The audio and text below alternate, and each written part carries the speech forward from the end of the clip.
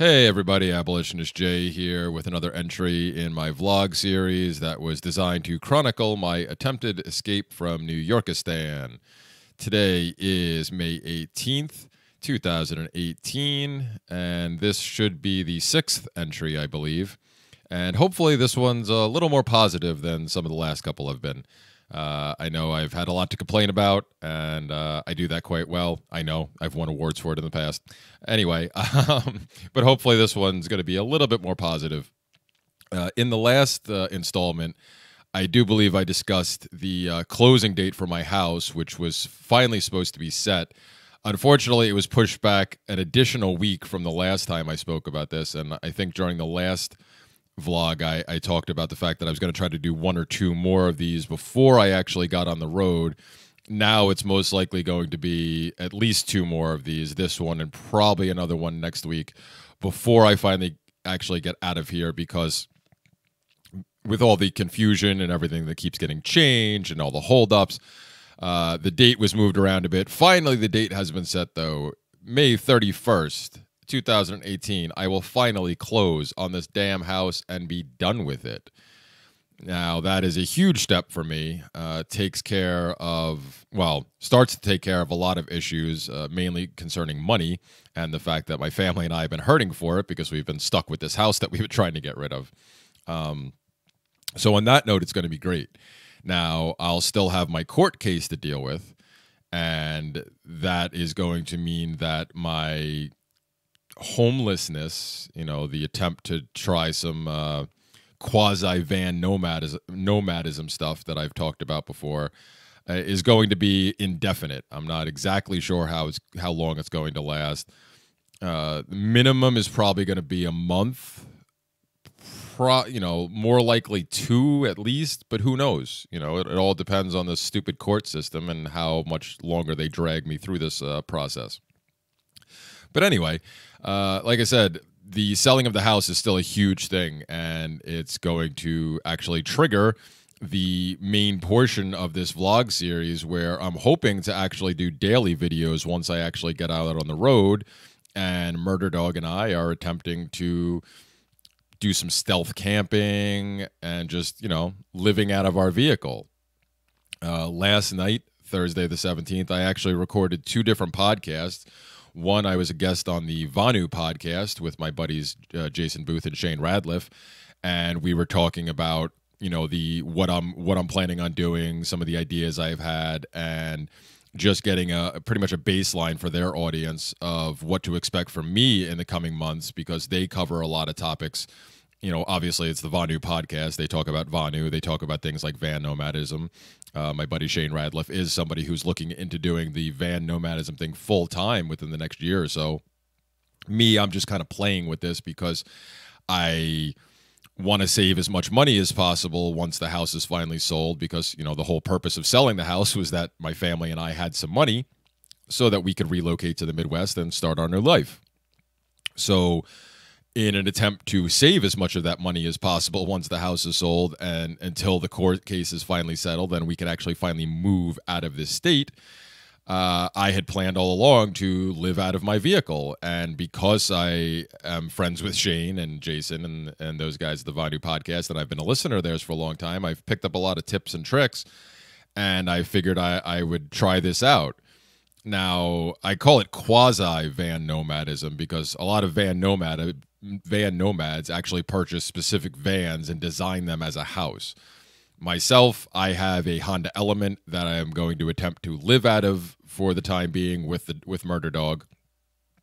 Um, you know, the, if you if you don't know anything about the Honda Element, it's kind of a boxy boxy SUV. Uh, decent amount of headroom in the back. Once you take the back seats out, there's a lot of you know there's enough room for even myself at six feet tall to lay down in the back and sleep relatively comfortably.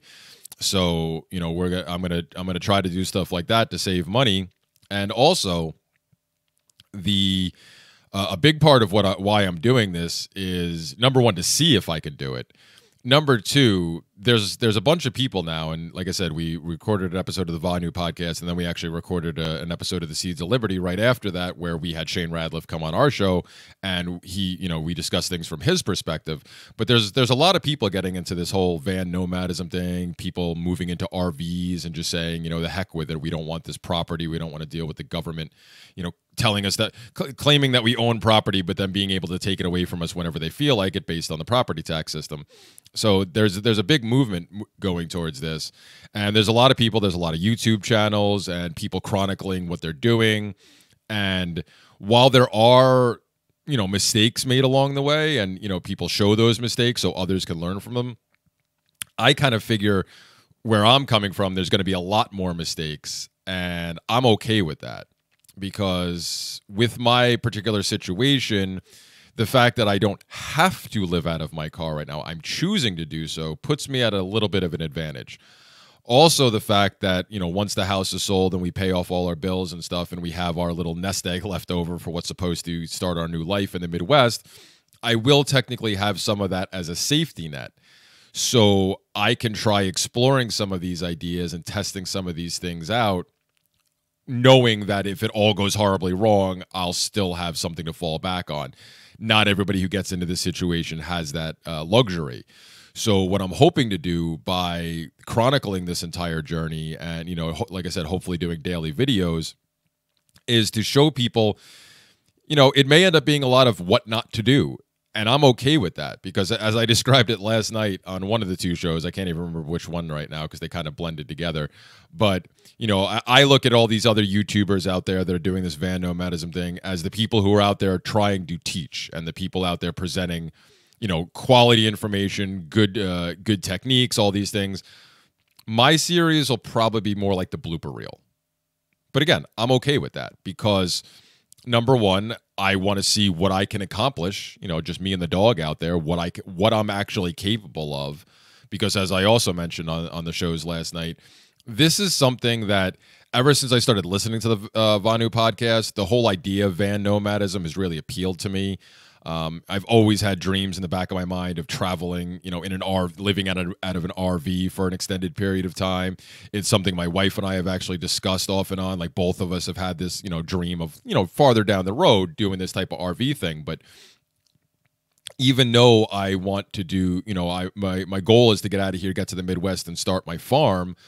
I'd still be able to like to be able to travel like this, and this is an opportunity I didn't think at my age with my kids and everything and the family, I didn't think I would ever get because, you know, I kind of thought that time was past. I'm I'm a family guy now. I can't, you know, I don't have the time to do these things. I can't just pick up and leave my kids for for days, weeks on end.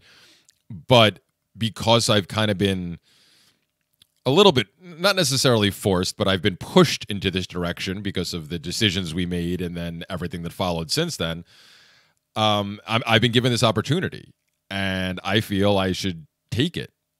You know, and, and obviously, while I'm traveling around, while I'm living out of my vehicle, I'm not going to get to see my kids or my wife as much. And while I'm going to miss them greatly, and while I would much prefer to be with them, I'm going to try to use this opportunity to, again, do a lot of self-reflection and you know hopefully learn some more things about myself and in the long run hopefully be able to teach others through you know like i said i'm i'm going to assume most of my mistakes uh, possibly my successes but uh, uh, I'll, I'll i'll i'll be more of the realist here and say yeah sure learn from my mistakes um, but that's really why I want to put this stuff out there. Now, obviously, I'm going to be sharing all these things to Steemit first, as I as I usually do these days, in the hopes that other people will appreciate it and you know up, upvote and re-steam my stuff and maybe uh, get a little uh, passive income that way going. That would be great.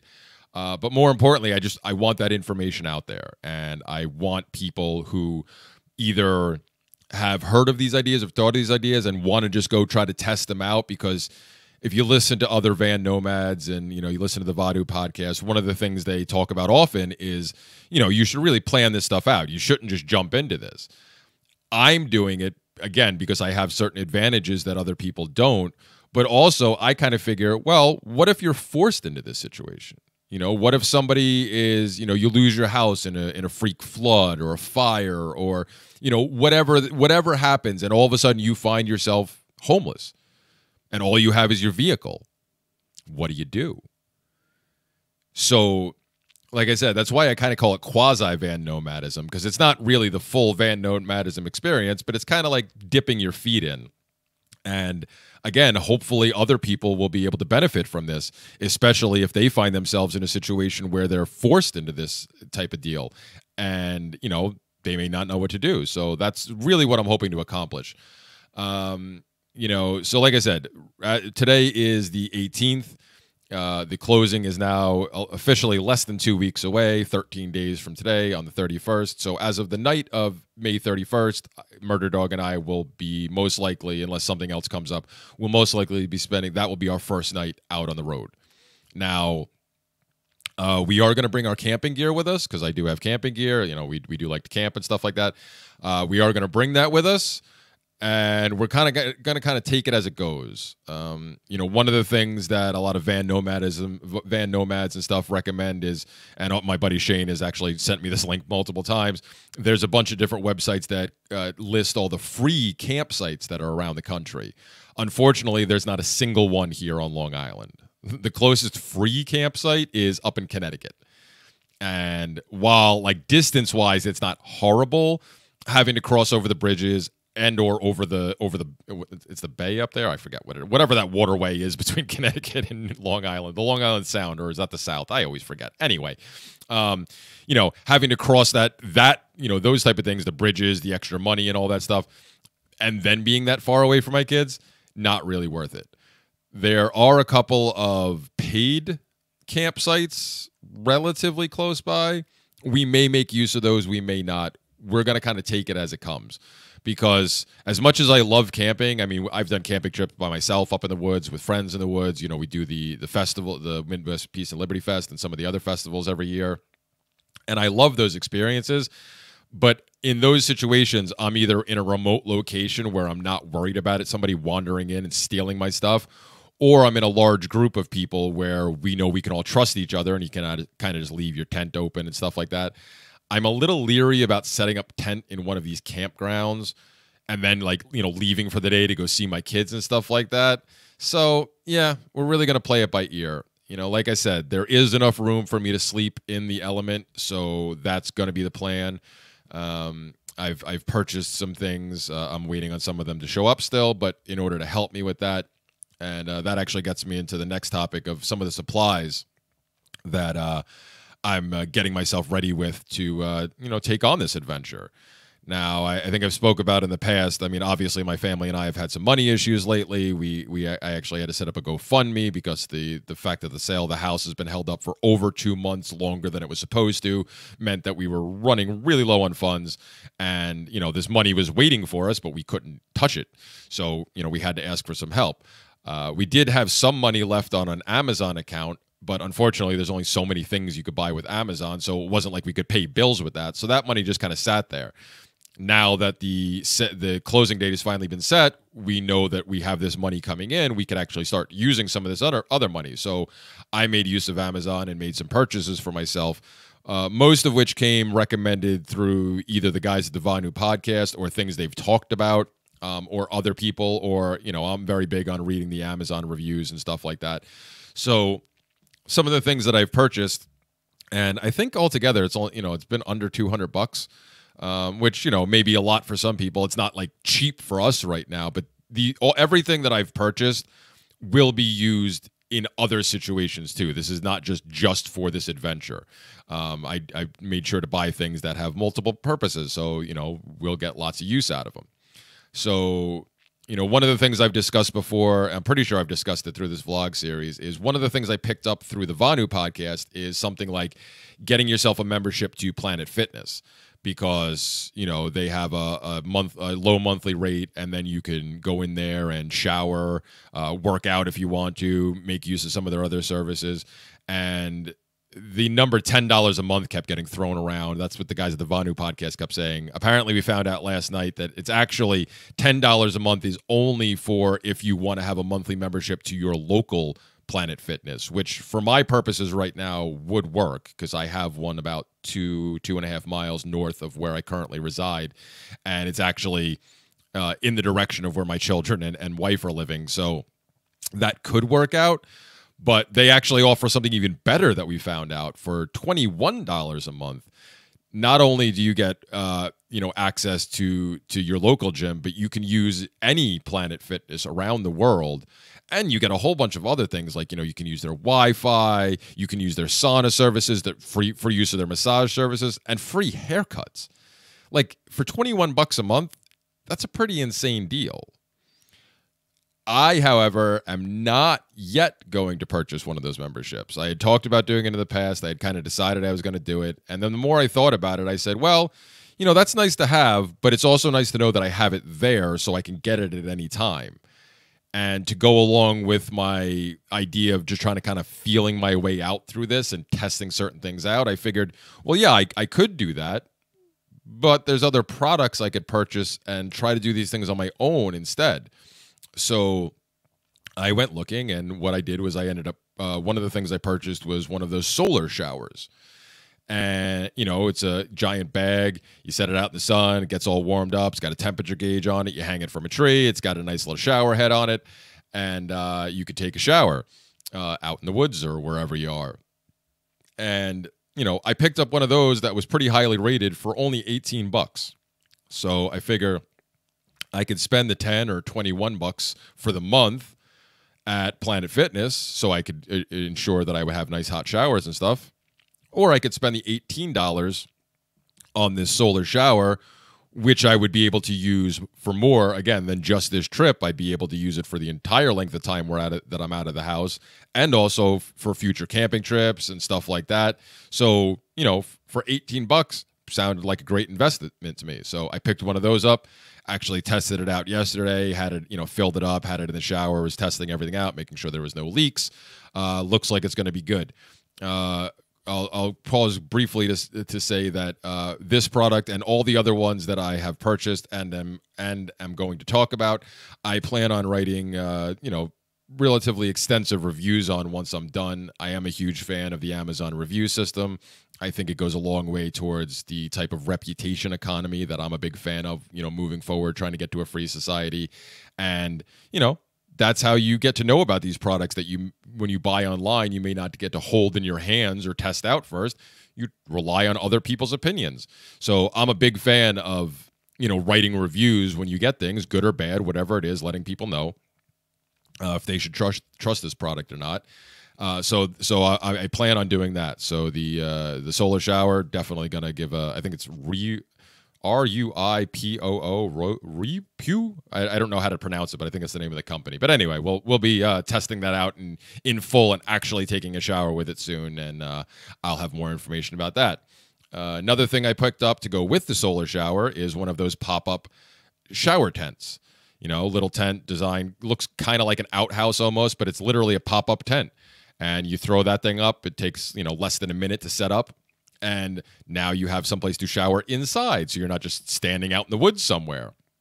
The great thing about this little shower uh, stall thing is it can actually double as a bathroom because that was the other thing that you know kept be, being a cause of concern. It's like well yeah sure you figure out where you take showers and stuff where you, when you're living out of your car on the road but what if you have to go to the bathroom yeah i mean sure you could stop in stores and restaurants and hope you can use their bathrooms that was another reason the Planet Fitness thing was appealing. It's like, well, if I have a membership, I can walk in there whenever I want. So if I just if I'm driving in the area and I got to go, I just go in there.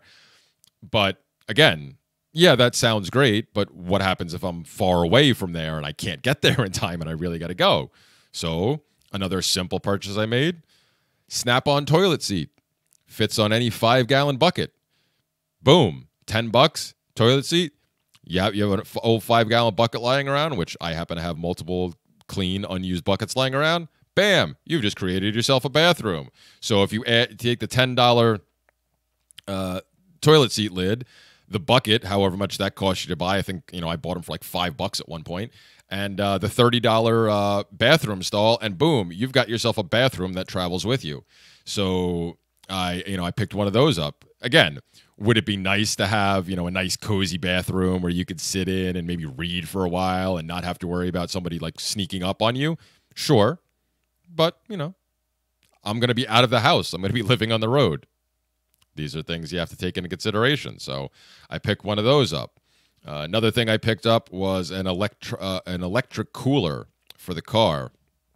You know, great little inventions, coolers that work without ice. I think I got something like a 34 quart one for 60 bucks. And again, uh, came you know it came with pretty good reviews, and I'm going to test it out and see. The one I bought is uh, I think it's a Knox. It also it's not just a, cool, a cooler; it also it can be a warmer too. You can flip the switch and uh, keep stuff warm if you want to. Now, one of the advantages I will have going out there is I don't care about drinking warm water. I used to be one of those spoiled people that would only drink cold water, but over the years, I've finally gotten re- used to drinking room temperature water, and I have no problem with it. I just want to be hydrated. I don't care if, you know, obviously in certain situations, it's nice to have a cold drink, but on the regular, eh, warm water's fine. So I could pick up a couple of cases of, you know, bottled water at the local box store, the BJ's or the Costco or something, for a few bucks and be stocked up with water for quite a while as far as drinking water and I don't have to worry about keeping that cool. So the cooler may not even be on all the time. It'll just be there for if I have specific food that needs to be kept cold or something like that or you know one day that I really want to have something kept cold. You know, it's it's a good thing to have, but I do also want to conserve energy and fuel, you know, because I'm living out of the car, that means gas. You know, I have to I want to conserve fuel. So I'm going to use it as sparingly as possible.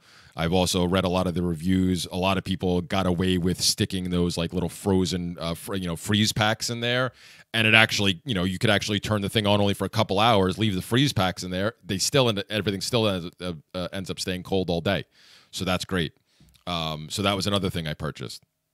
Uh, one of the last things I ordered, which I'm still waiting on now, and unfortunately I waited a little too long because they ran short of the amount that I wanted to order. But uh, this was another thing that came highly recommended to me was blackout curtains for the car, and I got a great deal. I think it was like nine bucks for two for a two pack, and I bought a couple of them. Unfortunately, I wanted to buy four. By the time I actually placed the order, there was only three packs left, but whatever, we'll make do. Um, but these little suction cup uh, curtains, blackout curtains that you can stick on the windows and you know black out the inside of the car as much as possible. Uh, this uh, provides uh, a number of benefits. Number one. Uh, for sleeping purposes, obviously, you don't have to worry, about the sun waking you up in the in first thing in the morning if you don't want to get up that way because you're you know in in as much darkness as you could possibly be. Number two from a security aspect people can't really be peering in on you. Now granted my element does have tinted windows in the back you know the the quote unquote legal level of tint. Um, so you have to get really up close to the window to actually see anything anyway but there's just adds an extra layer of protection um, security so people can't just be peering in and seeing what i'm up to or if i'm sleeping people can't like look in and see oh he's sleeping well let's take advantage of him now type of thing. Uh, the third thing uh, which goes along with the second thing as far as security these also go a long way towards uh, helping out with what's called stealth camping which is a lot of what I plan on doing because, as I mentioned before, there's not any free campsites. The couple of campsites that are here are a little spread out. So I may not actually get down to the campsites every night to uh, set up camp. So I, you know, going to be sleeping in the car. But, you know, if you pass out in your car, you pass out in your car. If you're setting up to sleep in your car, you have to be a little careful because you know there's stupid parking rules and where you're allowed to park at night yada yada yada and then of course depending on the jurisdiction you're in there may just be cops who cruise around with nothing better to do looking to harass people. So setting up to sleep in your car at night, you know, when you're living at your vehicle like this, the term they use for it is stealth camping because, yeah, you're trying to hide and not get busted by the police, not get harassed, not have somebody knock on your window and say, hey, you can't be here, or hey, move it along, that type of thing. So the blackout curtains will definitely help in that regard too. So I'm looking forward to having those uh, those show up. They should be here tomorrow, I think. Uh, well, of course, Amazon's two two day Prime delivery the past couple times has been three days or more, but we'll see. Uh, anyway, I, I, do have some more time. Uh, let me just look really quick. I think that's oh and oh yes, and another very important item I picked up. Uh, I almost forgot this was actually the first one I picked up, and I've been holding it for quite a while now because it came highly recommended to me last year at the Midwest Peace and Liberty Fest by my friend Derica Claus because she had one there. And I wanted to get one anyway. And now that I'm going to be put into this situation, it's even more imperative, I think, I have one. And this is one of those folding solar chargers. And these things are pretty amazing. It's, you know, fold up solar panel basically that has two USB ports you could charge your phone, charge your laptop. For me, charging my Kindle is going to be a big thing because I plan on doing a lot of reading when I'm out there. Um, so you know, this is great you just hang the either put this thing on you know if you're in the car like i'm going to be if it's a sunny day you can either leave it on your you know leave it on your dashboard the sun will hit it and it'll you know power up the solar panel and charge your stuff it's designed with straps on it so you can hang it outside your window if you want just have it hanging out the window with the core you know with the usb cords running inside um, inside the car or wherever you want to set it up. And like I said, this this one in particular came highly recommended. Um, my friend Derek raved about this thing, so I made sure I went and picked one up and now I have one. I have considered getting a second one, although at 50 bucks a pop, I'm running a little low on the mon- money we had in there, so I'm trying to be as uh, judicious with the uh, with the money as possible. So I figure I'm going to test the first one out, see how that goes. If I really think that I could use more power, then I might consider picking up a second one, especially once the house is officially sold and we have a little bit more money to play with. It'll probably make more sense to do it then. Uh, but we'll see because when it comes to like full scale van nomadism, like my buddy Shane Radliff is going to do, a lot of people uh, actually set their vans up with permanent solar panels to you know get a lot of their energy from there. Since this is a temporary thing for me i'm obviously not going to drill holes and put solar panels on the roof of my truck just yet. But having these temp you know having these kind of portable ones i think is a really good idea. So uh, I'm definitely going to be taking advantage of that because, again, obviously, living out of my car means that all of my electricity is going to be driven off of the off the fuel in my car, and I want to try to conserve that as much as possible. So, having things like a solar charger, big deal, gonna gonna help out a lot, I, I assume. And again, based on all the reports and reviews I've heard of this, it will definitely uh, be, a be a big advantage for me. And you know, other than that it's uh, you know like some of the other things I plan on doing is uh, of course bringing a really big ass extension cord with me, and I figure you know like I said I'll I'll try to charge things through the solar power as much as possible. Uh, you know I already have a power inverter in my car. I've always had one of those because I, I like to plug different things in, and I've always been that type of guy. So I already have one of those. So you know I'll try to charge things while I'm driving different places while the car is already running, so I'm not using too much extra fuel and stuff like that. And when possible, I'll try to take some power from where I can, whether I, you know, visit somebody who's willing to, you know, hey, can I throw a power cord out for a little while, that type of thing. If I end up at a campsite that has power, um, or if I end up some other place that people don't seem to mind, if I plug in for a little while, I'm definitely going to try to take advantage of things like that. So, uh, for anybody considering trying like something like this, a big ass power cord, 100 footer I have in the garage, luckily, probably not a bad idea. Um, so, yeah, so I'm going to do stuff like that. As I've talked about, you know, like I said, I'm going to try to do daily videos. That's the plan. We're going to see how the quality for that turns out because I am going to be recording from my car. Um, you know, like I do all these videos on my laptop, as you can see, uh, the audio should be good. The video, decent, but you know, it's the integrated camera on the laptop. I don't have a fancy, you know, separate webcam with a with a higher resolution. So, you know, depending on the, the the environments I'm in, the quality of my videos may dip a little bit. I'm hoping not. Uh, there's also a possibility that some of the videos, some of the vlogs, I'm going to record on my phone because it just might be easier to do that.